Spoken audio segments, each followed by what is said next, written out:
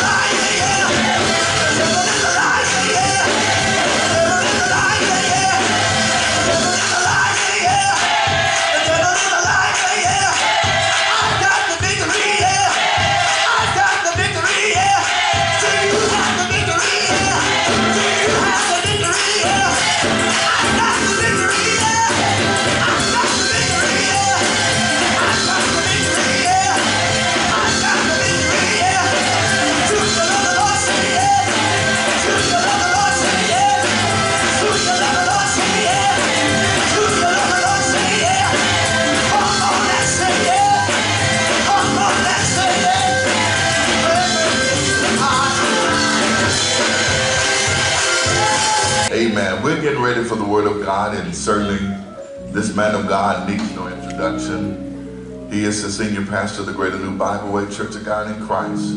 I want everybody to stand to your feet at this time, everybody that can, as we present to some and introduce to others what a mighty man of God. Allow God to use him in such a way.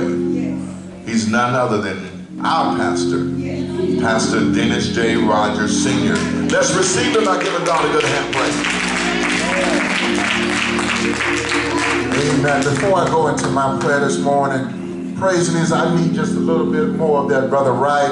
Amen. Because the Lord keeps on doing great things, not just for me, but I know this is part of your testimony today as well. Amen. We can be sad and sorrow valley. Amen. But I need for you to this morning to get with me. Amen. And think on the good things that the Lord has done. Anybody got some good things that you really can think on and give God praise? Amen. In spite of all that I've been through, I still have joy. Come on, come on, right on.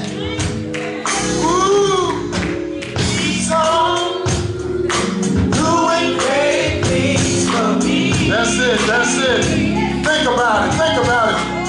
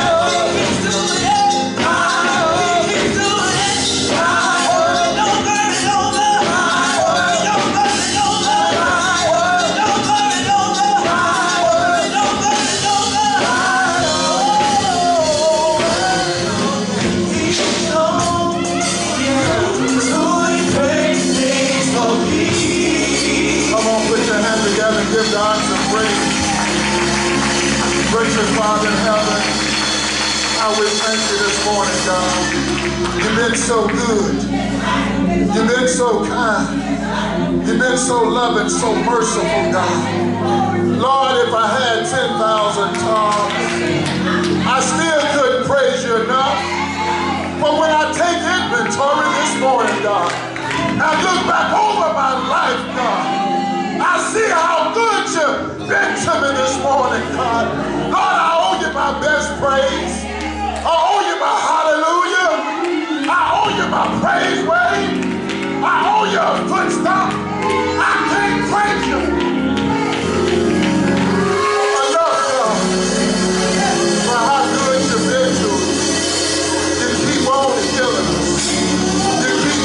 blessing us, oh God. You keep on making a way, God. You keep on providing for us. You keep on making plentiful for us. And Lord, I just want to say thank you this morning, God. Thank you this morning for all of your goodness, for all of your kindness, for all of your tender mercy, God, that you show forth. For saving my children. Thank you for saving my grandchildren. Thank you for saving my loved ones. I'm speaking those things as though they were God. I just believe that it shall come to pass in the name of Jesus. If I had somebody that can believe with faith with me this morning, put those hands together and thank God for what he's doing. Thank God! For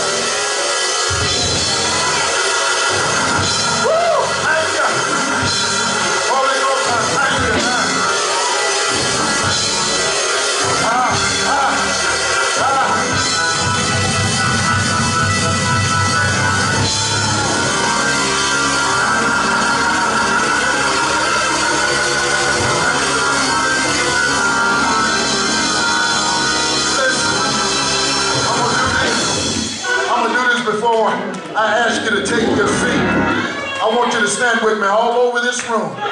Listen, don't this past week, Thursday, Friday, and Saturday, we had an opportunity to minister maybe to some 325, 350, somewhere around, around that number. Thursday, Friday, Saturday. We talking about some men that were behind bars.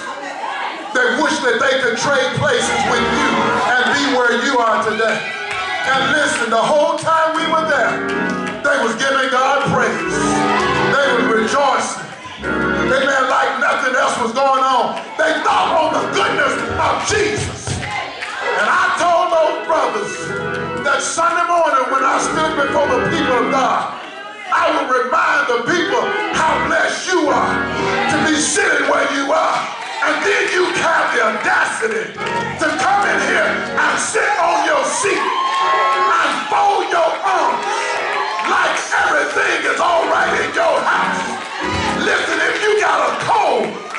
reason to stand on your feet. If your baby toe is hurt this morning, you got a reason to stand on your feet. If you came in here with a headache this morning, you got a reason to stand on your feet. I want y'all to do something for me this morning. They may see this service here real soon. Ella Quick, listen to me, Ella Quick. I want you to get a wide view right about now. I want you to open up the lens right now. Because listen, we finna thank God for them. We finna let them know because we have our freedom, we have a reason and a right to get. Ella Quick, are you ready? Are the lens wide open? Listen, all over this building, I want you to put those hands together and give God a thunderous praise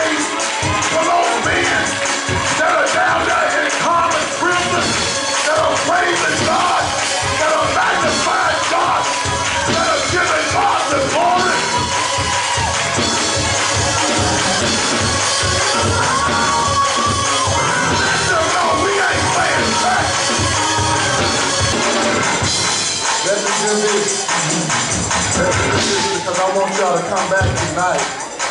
Amen. It's time for us to get it right with the Lord. God is not just a Sunday morning God. Amen. But He's here on Saturday and Sunday nights, and He's here on Thursday nights. And I come to remind a few of you all that really need something from God.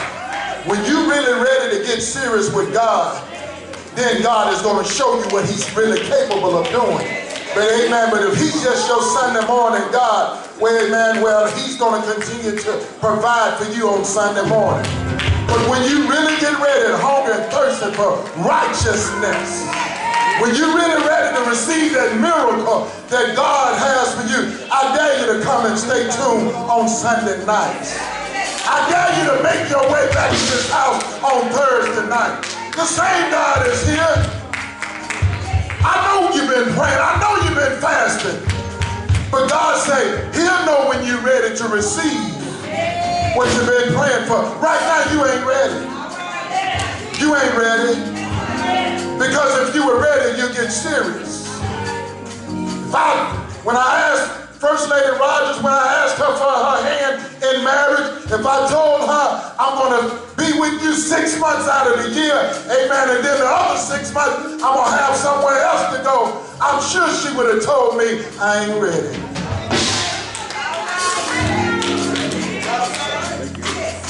I'm just making it plain. Deuteronomy, the first chapter. Deuteronomy, the first chapter.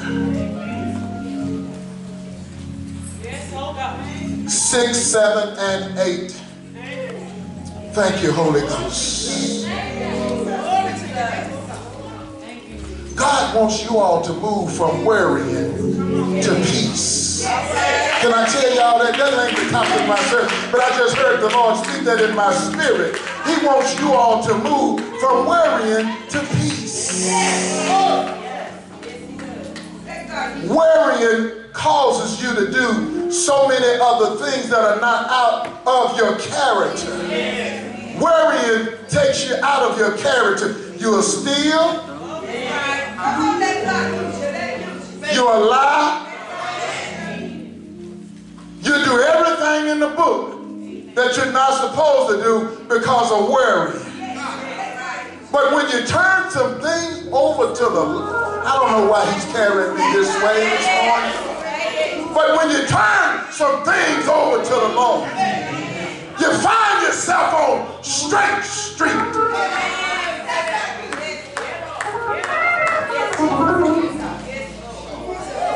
Then y'all say Jesus was a friend of mine?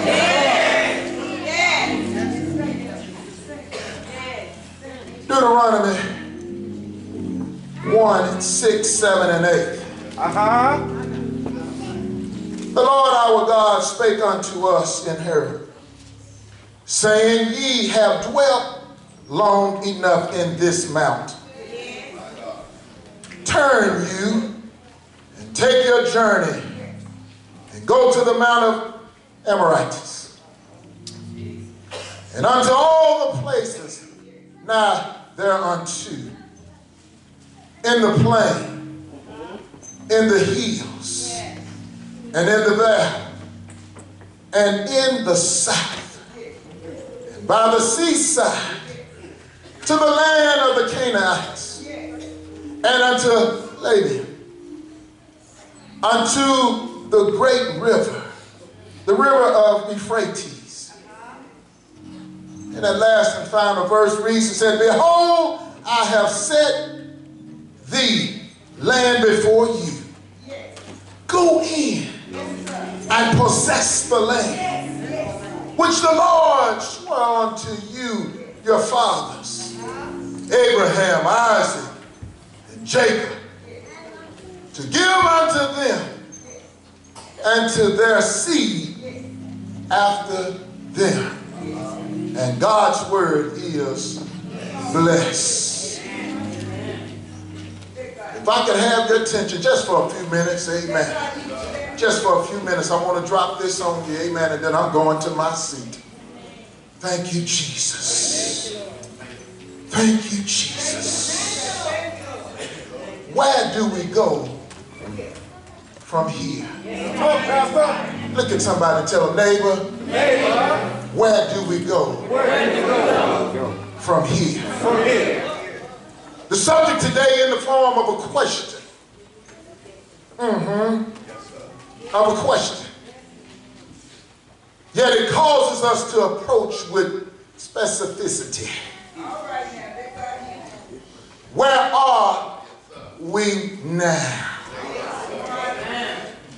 Where are we now? I'm learning that many people don't like to admit where they are now, amen, especially if where they are is no good. Oh, I know I'm in the house. But before you can go, amen, to a better place, you must be willing to admit that the place that you are in now is no good. God, you got to admit it. You got to admit it. If you're lost, stop wasting time. If you're lost, stop burning gas. Stop driving around, amen, amen, like you know where you're going and you know that you're lost. Stop and ask somebody for some directions. Good God. If you turn around and stop and ask for direction so you can get back on the right path. Tell somebody, I want to get on the right path. I got to get on the right path. But don't get so disrupted that you ask the first person, amen, whom you come in contact with. Because they may knock you over the head, amen. They may take you for all, all you got, amen. And then the last place will be the first place that you can remember of. Desperation sometimes can be good. But desperation at other times, amen, can cause you to misthink or misjudge your surroundings. I'm talking to somebody today that need a word from the Lord today. The Greek interpreters call, amen, the book of Deuteronomy, amen, the second law. Amen. It is the commonly, amen, identified as Moses' farewell address to Israel prior to his demise. He underscores, amen, and he repeats, amen, many of the laws of God, amen, that the people received at Mount Sinai. And challenges Israel, amen, you and I, to remain faithful unto God for continued prosperity. Listen, there's a lifestyle that we got to live if we want the continued blessings from the Lord. Good God Almighty. There's one thing that I've learned, amen, that if, if you want God, amen, to continue to bless you, you got to continue to be faithful to God. Good God from heaven. So many times, amen, this is where we miss, amen, the boat because God blesses us, then we become lax. I got the fine house now, I'm all right. I've got, I, I, I, got my automobile, amen, that I've been wanting, amen, for a long time. I'm all right now. Y'all go ahead with Sunday night service. I catch up with you when you can, when I can. You tell me. You tell us what you choose. Mm. It's quiet. It's not until we run out, amen, until some problems. Then all of a sudden we put the prayer wheel into motion again. All of a sudden we get back on fire for the Lord. But we need to stay on fire. Somebody say stay on fire. We need to stay on fire for the Lord. You see, you see, if you want the continued blessings, if you want to live in the overflow, if you want to live in the abundant favor of God, then you cannot play with God and only serve him through the good days. You got to serve him through the good times. And then you got to serve him, amen, when times are not so good. You got to serve him when you're happy. And then you got to serve God, amen, when there's sadness in your heart. Am I helping somebody? You got to, amen, let God know that my faithfulness to you is not based on where I am right now, but my faithfulness to you is based on who you are and what you mean to me. Somebody ought to clap their hand and give God some. My faithfulness to you is not based on my financial condition this morning. It's not based on my mental state this morning. It's not based on my physical condition, but it's based on where I am in you. Somebody say, Thank you, Lord. Don't know about you, but maybe you don't enjoy the blessings of the Lord. Maybe you don't enjoy, enjoy everything that God has done for you. Maybe you don't want all of his continued blessings. But as for me and my house, God Almighty, I have to take off running right there. I said, but as for me and my house, I mean I want everything. Good God Almighty, I want better health. Yeah, yeah. I want, amen, longevity of life. Amen. I want to be able to understand, amen, and comprehend. I want to be able to think right, amen, and positive. Anybody want some of these blessings? Notice I didn't mention a fine house. Notice I didn't mention, amen, a nice car. And those things are good to have. But that's just some things, good God Almighty, that mean just a little bit more to me than having a fine automobile. There's a few more things to me that mean more to me than living in a, a nice house. Lord knows I'd like to have one. But there's just a few more things that mean a little bit more to me. Good God Almighty, than to have a pocket full of money right about.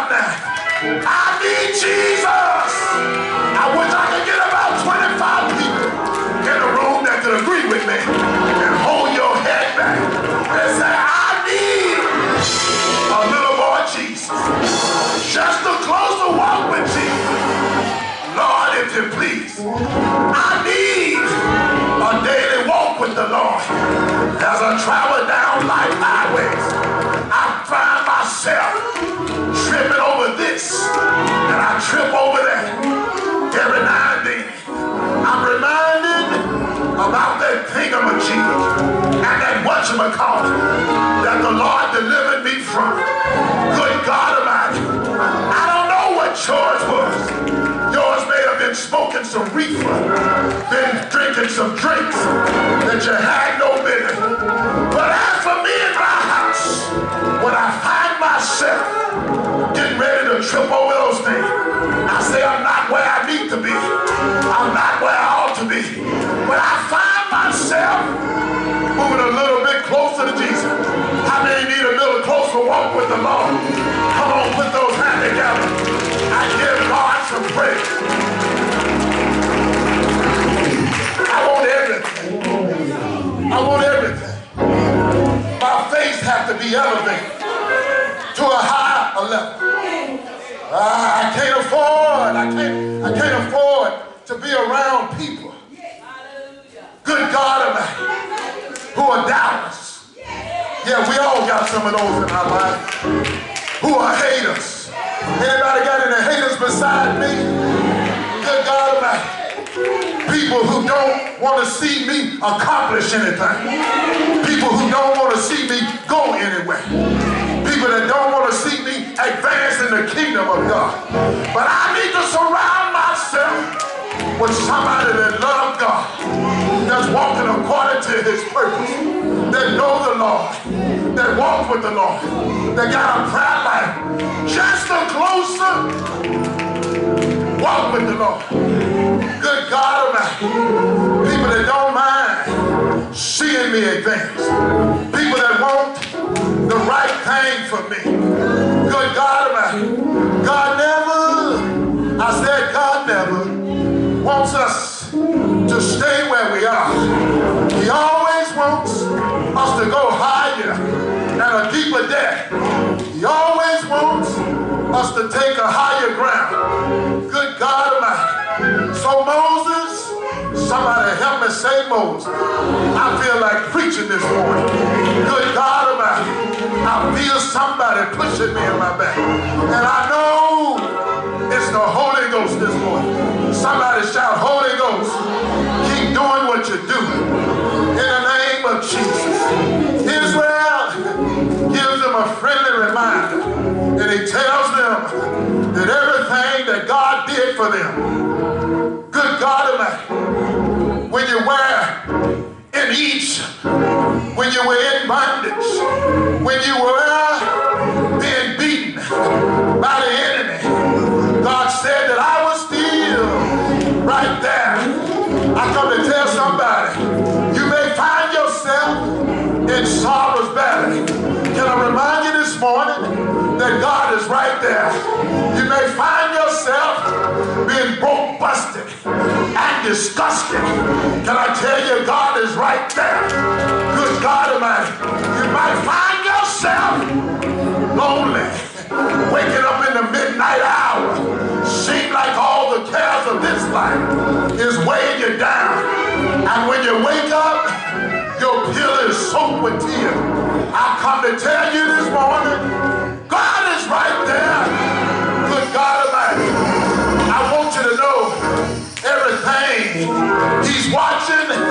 everything that they did to you. I want you to know He's watching everything that they said about you. He's watching. Somebody help me say watching. The plans and the plots that the enemy set before. The traps, the holes, the ditches that the enemy dug for you. God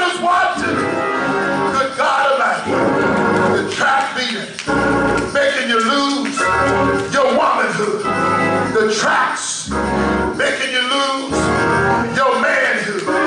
And God said, God said, let me say, God said, I saw everything that they did, but you're not going to be in bondage always. That's what I want to tell somebody. You're not going to always be where you are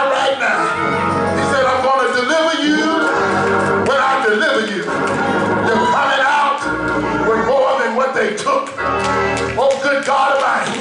Right there is a good praise to give God some praise. If you really want more than what the enemy stole from you, if you really want more than what the enemy took from you, I wish you'd stand up all over this room and say, Lord,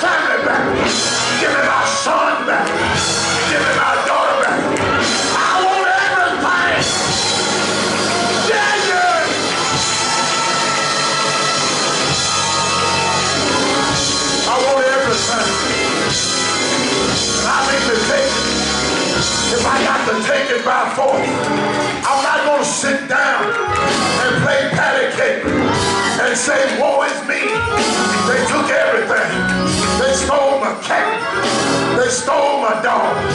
They took my hamster. Came in and got my goldfish. Good God Almighty. But I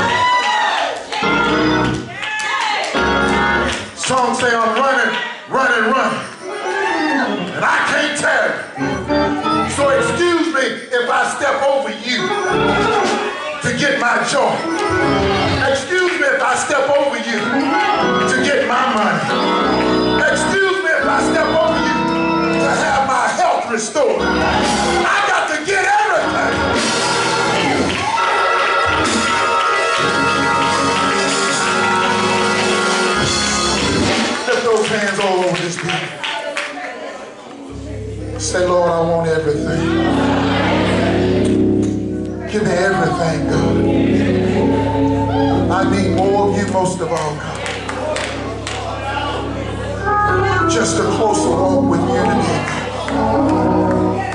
Just a closer walk with you today, God. It will make everything all right. Every time I try to put my hands to it, it keeps on messing up. I get this hand fixed, then the other side pops up. Like we're on the seesaw of life. One end gets heavy, then the other end pops up. Love flows because God is in control. A church where God is really real. Hi, my name is Dennis Rodgers, pastor here at the Greater New Bibleway Church of God in Christ. I would like to welcome you to our services. Service times are Sunday morning prayer and Sunday school 9 a.m. Sunday morning worship 11 a.m. Sunday evening Pentecostal service 7 p.m. Midweek service Thursday